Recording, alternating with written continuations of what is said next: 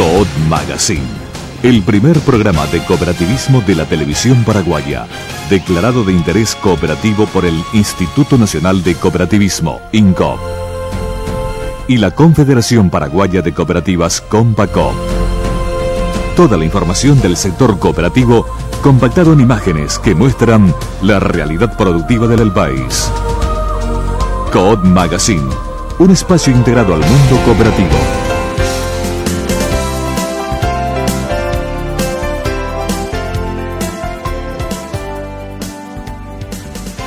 En este bloque queremos resaltar la acción transformadora que cumplen las distintas cooperativas en la sociedad paraguaya, desde la función de entidades solidarias que en la mayoría de las veces realizan gestiones y acciones que el Estado paraguayo debería de cumplir en cuanto al apoyo a la educación, la salud y asistencia a la comunidad por lo que deberíamos promocionar con más énfasis estas actividades, por lo que recibimos hoy a la cooperativa 8 de marzo limitada, en una nota presentada por Santiago Velasco.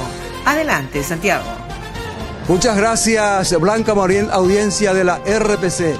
Desde Coronel Oviedo, hoy participamos de una inauguración de la nueva sucursal de la cooperativa multiactiva 8 de marzo limitada acto que ha presidido el presidente de nuestra entidad, comisario principal retirado, abogado Carlos Núñez Agüero. La primera gran obra de este año. Señoras, señores, corte de cinta. En este momento, inauguración oficial de la sucursal Coronel Oviedo de la cooperativa 8 de marzo limitada. Fuerte los aplausos.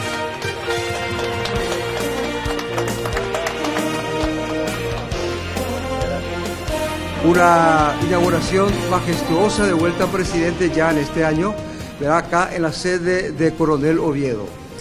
Bueno, eh, la, número 19 que estamos inaugurando este hermoso local acá en Coronel Oviedo. ¿Para qué? Para mejorar el servicio.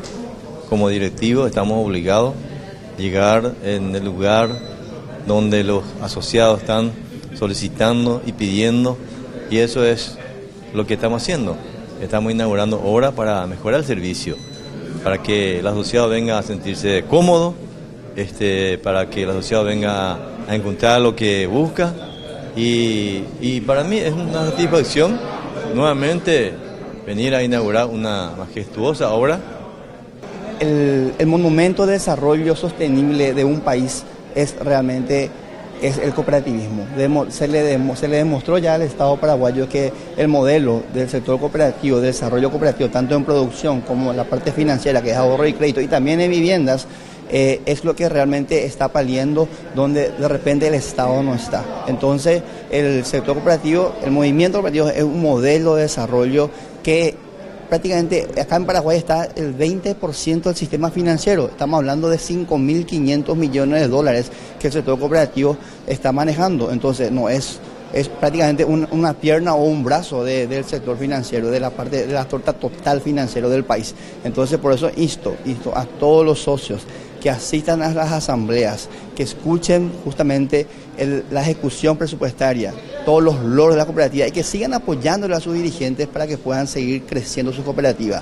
Nadie, ni una entidad financiera le devuelve otra vez ese, ese excedente a su socio. Entonces, construyamos juntos, sigamos construyendo éxitos, trabajemos unidos, que el sector cooperativo se demuestre fortalecido en la unión, en la gobernanza principalmente, porque si van solo, estoy seguro que no van a poder conseguir nada, pero si van todos juntos, unidos de una, con un solo objetivo que es mejorar cada día más el desarrollo del sector cooperativo, pienso que se le va a ser escuchado. Sabemos y entendemos que el presidente de la República está a favor del cooperativismo, personalmente me lo ha dicho, entonces construyan, sí, presenten un proyecto realmente importante, adelántense para que puedan mañana no tener que vivir otra vez esos 23 días de penas en esa plaza tan sufrida que es frente al Congreso Nacional. Entonces, esto a que sigan trabajando juntos, unidos y en gobernanza.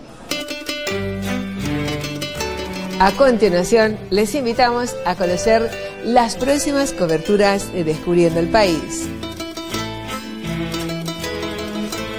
Este viernes 25 y sábado 26 de enero, nuestro equipo de producción visitó la ciudad de San Juan, capital del departamento de Misiones, para la cobertura de la gran fiesta del Siriquí, el batiburrillo y el chorizo misionero. Y hoy domingo 27 de enero llegaremos hasta Santiago para participar de la gran fiesta de la tradición misionera. Coberturas que veremos el próximo domingo en Descubriendo el País. También este fin de semana otro equipo de producción se encuentra en la capital de la madera, Caguazú, gracias a la invitación del Hospital Universitario USCA y la Universidad Santa Clara de Asís. Y en esta semana nuestras cámaras recorrerán todo el departamento del Guairán, gracias a la invitación del señor gobernador del departamento, doctor Juan Carlos Vera. Eh, les invito en primer lugar a, venir al Guairá, venir al Guairá y disfrutar de, esta verdadera naturaleza, ¿no es cierto?, que salvaguardamos. Eh, hay numerosos puntos de turismo acá en la cordillera del Leibutruzú. El ecoturismo estamos eh, fuertemente apoyando desde la gobernación, tratando de, de invertir en la parte vial para que los caminos sean accesibles. Así también numerosos hoteles se han instalado en el lugar. Hay numerosos saltos, por ejemplo el salto suizo y otros saltos muy importantes. Está el pico más alto del Paraguay, que es el do Tres Candú. Y bueno, les invito a todos que vengan a descubrir esta verdadera, ¿no es cierto?, belleza que Dios nos regaló. Próximamente recorreremos también todo el departamento de Misiones, junto a su gobernador, señor Carlos Arrechea. Eh, importante que vayamos haciendo conocer a todo el país de muchas cosas lindas que tenemos para ofrecer acá, de las tradiciones, de las playas, de todo lo que es el camino jesuítico formamos parte de los 30 pueblos jesuíticos oraníes, tenemos cuatro pueblos acá en Misiones. Hay muchas cosas lindas y bellas que apreciar, así que muchísimas gracias a ustedes. También les mostraremos todo el departamento de Cordillera en un recorrido junto a su gobernador, doctor Hugo Fleitas. En el Alto Paraná visitaremos la ciudad turística de Presidente Franco, gracias a la invitación de su intendente, señor Roque Godoy, y la diputada nacional Roya Torres. También volveremos a la antigua Tacoral, Upacaraí, que guarda mucha historia para descubriendo el país. Y el 3 de febrero volveremos a la ciudad de La Piña, Valenzuela, para participar de la gran fiesta patronal en honor a San Blas, gracias a la cordial invitación de su intendenta municipal, señora Mirta Fernández. Por su parte, la hermosa ciudad de Itacurubí del Rosario nos espera para una próxima visita en el departamento de San Pedro. Llegamos al final de nuestro maravilloso viaje de conocer un poco más acerca de nuestro querido Paraguay en tu programa dominical Descubriendo el País.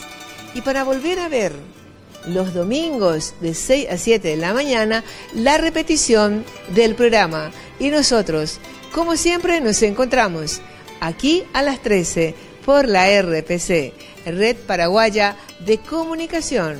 Y feliz inicio de semana para toda la familia. Blanca Marín presentó Descubriendo el País